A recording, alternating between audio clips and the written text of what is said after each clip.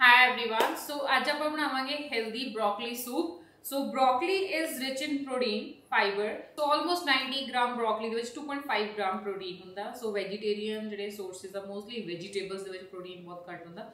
So it's a rich source of protein. So it's daily low and it's high in calcium. It's very good for your bones, osteoporosis and it's good for skin. Even it protects your skin from sunburn. मतलब तो जाने थोड़े tanning होती है तो भी protect कर दिया and rich in fiber और constipation लिए बहुत बढ़िया है. ਸਭ ਤੋਂ ਇੰਪੋਰਟੈਂਟ ਅੱਜ ਕੱਲ ਕੋਲੇਸਟ੍ਰੋਲ ਤਾਂ ਸਾਰਿਆਂ ਦਾ ਹੀ ਹਾਈ ਆ ਰਾਈਟ ਸੋ ਬ੍ਰੋਕਲੀ ਤੁਹਾਡਾ ਕੋਲੇਸਟ੍ਰੋਲ ਲੋ ਕਰਦੀ ਆ ਬੈਡ ਲਿਪਿਡ ਪ੍ਰੋਫਾਈਲ ਨੂੰ ਇੰਪਰੂਵ ਕਰਦੀ ਆ so it's very good for your heart so broccoli ਚ ਇੰਨੇ ਗੁਣ ਨੇ ਐਵਰੀ ਡੇ ਤੁਸੀਂ ਲੈ ਸਕਦੇ ਹੋ। ਐਂਡ ਇਟ ਹੈਜ਼ ਐਂਟੀਆਕਸੀਡੈਂਟਸ ਤੁਹਾਡੇ ਬੋਡੀ ਦੇ ਵਿੱਚ ਆਕਸੀਜਨ ਵਧਾਉਂਦਾ ਆ। ਐਂਡ ਐਂਡ ਇਨਫਲੇਮੇਸ਼ਨ ਨੂੰ ਘਟਾਉਂਦਾ ਹੈ so every day I recommend ਕਿ ਬ੍ਰੋਕਲੀ ਸੂਪ ਜਾਂ ਬ੍ਰੋਕਲੀ ਨੂੰ ਕਿਸੇ ਵੀ ਫਾਰਮ ਚ ਲਾਓ ਸੋ ਸਮਟਾਈਮ ਕਈਆਂ ਨੂੰ ਬ੍ਰੋਕਲੀ ਇੰਨੀ ਟੇਸਟੀ ਨਹੀਂ ਲੱਗਦੀ ਸੋ ਆਪਾਂ ਇਹ ਸੂਪ ਬਣਾ ਰਹੇ ਹਾਂ ਜਿਹੜਾ ਕਿ ਹੈਲਦੀ ਟੇਸਟੀ ਵੀ ਲੱਗੇਗਾ ਰਾਈਟ ਸੋ ਆਪਾਂ ਇਹਦੇ ਲਈ ਲੈ ਰਹੇ ਹਾਂ almonds right almost 20 25 almonds and garlic garlic as a medicine he use karna and chopped onion and broccoli that's it so let's prepare it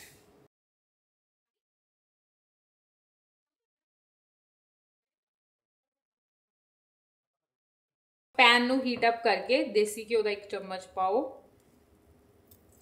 so always soup ਬਣਾਓ ਦੇਸੀ ਘਿਓ ਚ ਕਰਦਾ and finally chopped garlic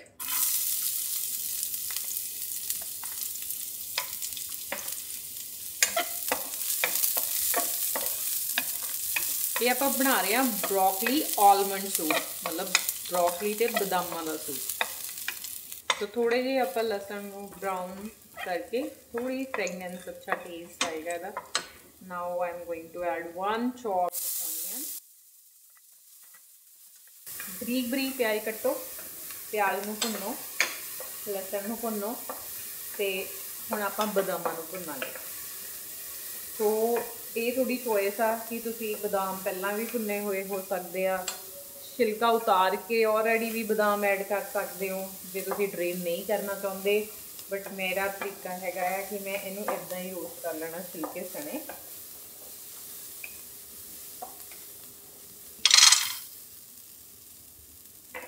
so ਹੁਣ ਆਪਾਂ ਬਦਾਮਾਂ ਨੂੰ ਵੀ ਨਾਲ ਹੀ ਭੁੰਨ ਲੈਣਾ।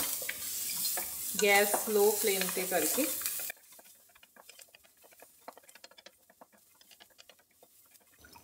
ਸੋ ਮੈਂ ਆਲਵੇਸ ਸੂਪ ਦੇ ਵਿੱਚ ਹੌਟ ਵਾਟਰ ਯੂਜ਼ ਕਰਦੀ ਹਾਂ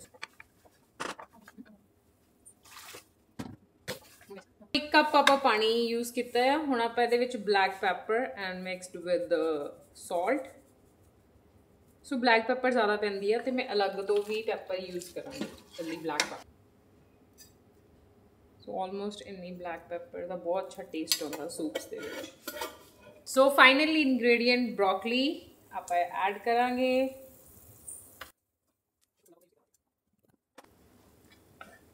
ਕਿੰਨੇ ਗ੍ਰਾਮ ਪ੍ਰੋਟੀਨ ਹੋ ਗਿਆ ਵੀਰੇ 18 ਗ੍ਰਾਮ ਪ੍ਰੋਟੀਨ। ਪੂਰਬਾ ਤੇ ਲੈ ਗਿਆ ਸਵੇਰੇ ਕੱਲਾ ਹੀ ਪੀਜੇ।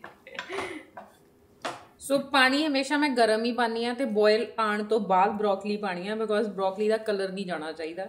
ਐਂਡ ਇਹਨੂੰ ਓਵਰ ਕੁੱਕ ਵੀ ਨਹੀਂ ਕਰਨਾ, ਨਹੀਂ ਤਾਂ ਫਿਰ ਇਹ ਬਲੈਕ ਬਲੈਕ ਹੋ ਜਾਏਗੀ। ਆਪਾਂ ਇਹਨੂੰ ਗ੍ਰੀਨ ਕਲਰ ਹੀ ਰੱਖਣਾ ਹੈ। ਸੋ ਹੁਣ ਆਪਾਂ ਥੋੜਾ ਇਹਨੂੰ ਖਾ ਕੇ ਦੇਖ ਲਿਆ ਕਿ ਇਹ ਥੋੜੀ ਜੀ ਖੜਵੀ ਆ ਬਟ ਹੁਣ ਆਪਾਂ ਇਹਨੂੰ ਹੁਣੇ ਬਲੈਂਡ ਕਰ ਦਾਂਗੇ, ਜ਼ਿਆਦਾ ਓਵਰ ਕੁੱਕ ਨਹੀਂ ਕਰਨੀ।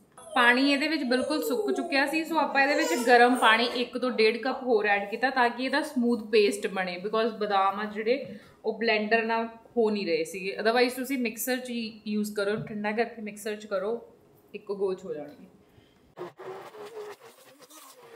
ਸੋ ਬ੍ਰੋਕਲੀ ਨੂੰ ਆਪਾਂ ਇਦਾਂ ਬਲੈਂਡ ਕਰ ਲਿਆ ਆ ਬ੍ਰੋਕਲੀ ਐਂਡ ਆਲਮੰਡਸ ਨੂੰ। ਹੁਣ ਆਪਾਂ ਇਹਨੂੰ ਸੇਮ ਜਿੱਦਾਂ ਟੋਮੈਟੋ ਸੂਪ ਦੇ ਵਿੱਚ ਕੀਤਾ ਸੀਗਾ ਡਰੇਨ ਸੋ ਕਿਉਂਕਿ ਬਦਾਮਾਂ ਦਾ ਜਿਹੜਾ ਛਿਲਕਾ ਹੈ ਰਾਈਟ ਉਹ ਥੋੜਾ ਹਾਰਡ ਹੁੰਦਾ ਸੋ ਉਹ ਸਮੂਥ ਨਹੀਂ ਹੁੰਦਾ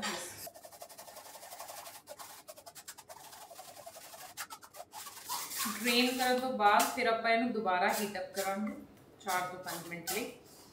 ਇਸੇ ਕਰਕੇ ਸੂਪਸ ਜਿਹੜੇ ਨੇ ਉਹ ਰੈਸਟੋਰੈਂਟਸ 'ਚ ਐਕਸਪੈਂਸਿਵ ਹੁੰਦੇ ਆ। ਇਹਨੂੰ ਬਣਾਉਣ ਲਈ ਬਹੁਤ ਪੇਸ਼ੈਂਸ ਟਾਈਮ ਐਂਡ ਵੇਸਟ ਵੀ ਹੁੰਦਾ ਫੂਡ ਰਾਈਟ ਪੂਰੇ ਸੂਪ 'ਚੋਂ ਇੰਨਾ ਕੰਟੈਂਟ ਆਪਣਾ ਵੇਸਟ ਗਿਆ, ਜਿਹੜਾ ਕਿ ਬਦਾਮਾਂ ਦਾ ਛਿਲਕਾ ਆ and little bit of thicker content ਜਿਹੜਾ ਬ੍ਰੋਕਲੀ ਦਾ ਰਾਈਟ ਸੋ ਆਲਮੋਸਟ ਤਿੰਨ ਜਣਿਆਂ ਜੋਗਾ ਸੂਪ ਤਾਂ ਨਿਕਲ ਹੀ ਆਇਆ ਹੁਣ ਆਪਾਂ ਇਹਨੂੰ ਸਲੋ ਫਲੇਮ ਤੇ 5 ਮਿੰਟ ਲਈ 5 ਟੂ 7 ਮਿੰਟਸ ਲਈ ਹੀਟ ਅਪ ਕਰਾਂਗੇ।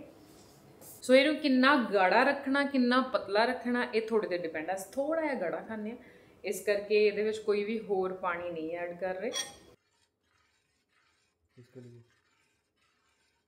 ਥੋੜਾ ਜਿਹਾ ਥਿਕ ਹੈ ਇਸ ਤੋਂ ਥਿਨ ਕਰ ਸਕਦੇ ਆ ਸੋ ਲੈਟਸ ਟੇਸਟ ਇਟ ਬੜੀ ਅੱਛੀ ਖੁਸ਼ਬੂ ਆ ਰਹੀ ਹੈ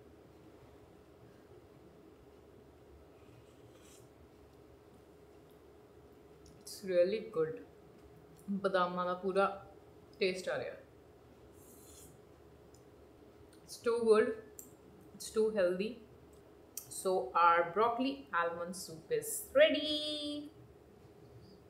Gary, do you want to taste it? बहुत स्वाद है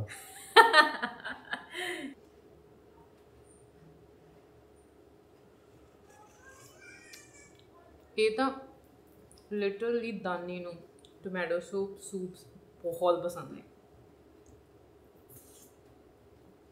ਤੁਸੀਂ ਬੱਚਿਆਂ ਲਈ ਵੀ ਬਣਾ ਸਕਦੇ ਹੋ must try this subscribe my YouTube channel.